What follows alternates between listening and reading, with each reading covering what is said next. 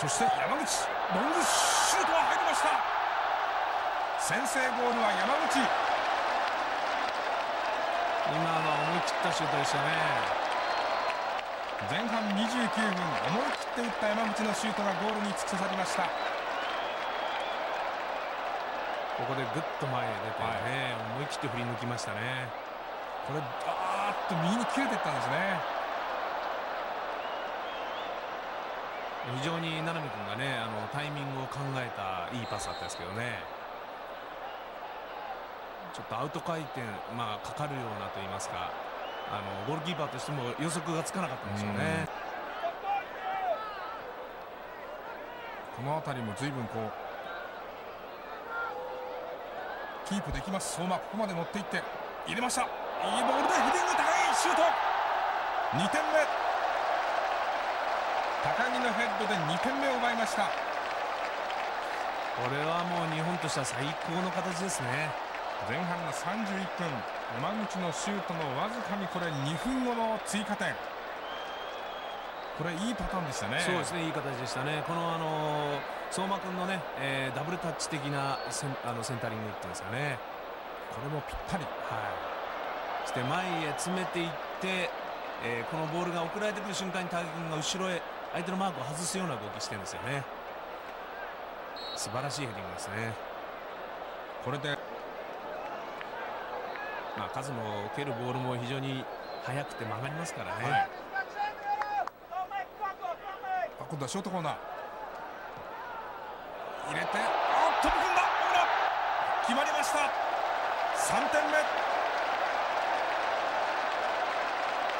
いや今のはこれはある意味では形通りかもしれないですね、はい、飛び込んでいった小村ダイビングヘッド。3対0日本がリード広げました。前半の40分。これショートコーナーからここですね。はい、前へこれ高木君ですよね。つってもう完全に後ろのスペースが生まれましたよね、はい、村はフリーで飛び込んでいきました。でカズもちょっと今中を見てもう完全に後ろをねフリーになりましたから、はい、まあ、そういう意味ではあの成君や高井君が前にスペース両方をしっかり見れる、まあ、そういった意識っていうのは重要ですね。さあカズチャンスシュート。決まりました。日本の4点目はカズが取りました。後半の16分。三浦自身この代表では30点目のゴール記念のゴールを決めました。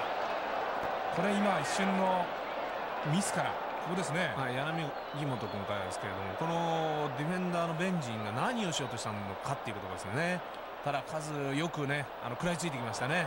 これしかも角度のないところで難しいところですね、はい、まあ、キーパーへのバックパスかもしれないですね、はい、ただよく狙ってますよねこれね。よく拾いに行ってここから。かえー、角度ないけど振り足が速いですからね。粘る。2人来ました。フォローの柳本七海こちらのサイドまで来てもう一度七海高木が前に行きます。さあ高木落として高木のシュート決まった。見事な高木今日2点目。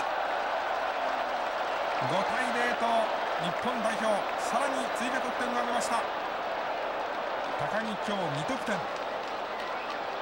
喜びのあまりフェンスを飛び越えましたがあイエローカードが出ました、まあ、これもこの七海君のねボール素晴らしかったですしまああの大君もね裏で見事にもらいましたね。からタイミングもこのタイミングしかなかったですね、はい、まあ、よく見てますね逆サイドの裏まで。そして胸でトラップしてキーパーの出鼻を。これも完璧に近いゴールですね、